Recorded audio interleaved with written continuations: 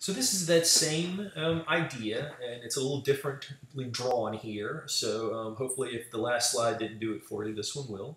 And again, you see that we have surface winds that are moving in the same direction, but we have uh, surface water that is moving in opposite directions. And the reason it's moving in opposite directions is because the water is located on opposite sides of the equator, of the geographical equator.